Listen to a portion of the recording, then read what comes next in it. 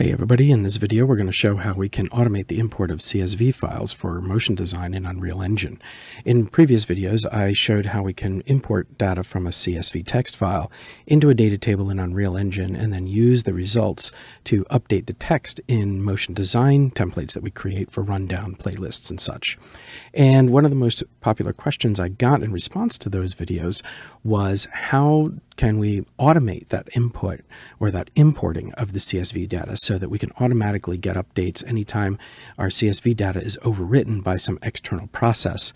And that way we can automatically get our updated data into motion design rather than having to manually intervene by right clicking on our data table and then choosing re-import or re-import with new file. So that's what we're going to cover in this video.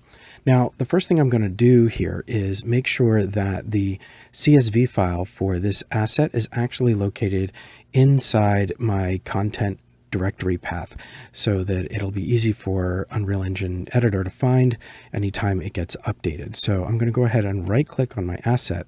You can see when I'm hovering over it that the source file, uh, which is listed at the very bottom of the pop-up, it's, it's in the saved folder. So it's saved slash list1.csv. So with a right click menu here, I can go ahead and open the source location. And this will give me the directory that that file is located in right here. So I can control C, copy that. And then I'll go back up to my project level and then into content, which is my essentially my game directory. And then I'll go into step by step and data tables. And in here, I'll control V and paste that CSV file. Okay, so now that CSV file is within the content structure of the project. Wonderful. So next, I'm going to go ahead and import that file onto this asset. So right click, re-import with new file. And I'm just going to make sure that I'm re-importing from that new file location. So step by step is my project, content, step by step is the containing folder and data tables. And there's my list1.csv. I open that up and we don't see any changes because it's really the same data, it's just in a new file location.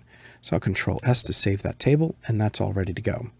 Now I'm ready to configure the editor to automatically update anytime that CSV file is changed. So if I create an external process, maybe it's a Python script, maybe it's some other external software, and it's going to write information to that CSV file that I want to use in my motion design graphics, I want Unreal Engine to automatically update itself anytime that CSV file changes. So to set that up, I'm going to go to the Edit menu and choose Editor Preferences. Inside Editor Preferences, I need to go to loading and saving. And finally, we're going to configure this auto re-import section to import the data we want. Of course, we're going to monitor the content directories that we're interested in. And under advanced, I want to specify which directories to monitor. Now the default information that's in here is not particularly useful for me, so I'm just going to go ahead and delete that. And while I'm here, I'm also going to uncheck auto create assets because I don't want to accidentally create a new asset anytime a new file it might be added.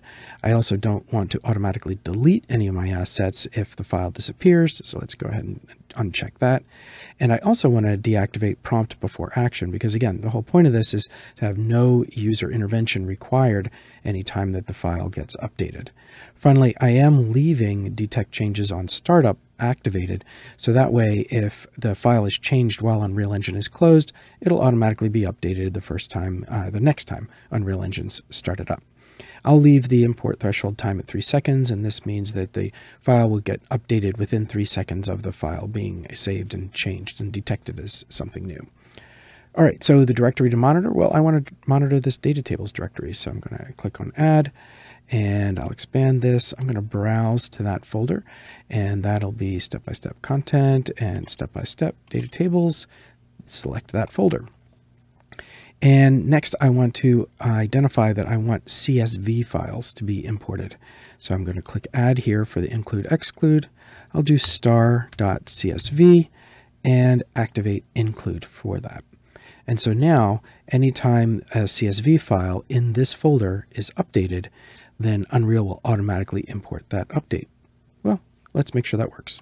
So I'm going to close my preferences. I'll right click on this asset, and this time I'm going to choose open source data. In this case, I get to see my text file, and I will just change this first line of text from hello one, or I'm sorry, from text one to be hello one. There we go. And we're not going to see any update until I hit save, and then three seconds should pass and we should see the update. So Control S, the save is done, two, one, we should get an update, and there it is. Hello 1 is automatically updated without any further intervention. If I want to test that here, I can go ahead to my sequencer and play my change sequence. It should fade out the existing text, change the text based on the uh, data, and, and display it. So that's how we update our text automatically. I hope this helps. Until next time, have fun.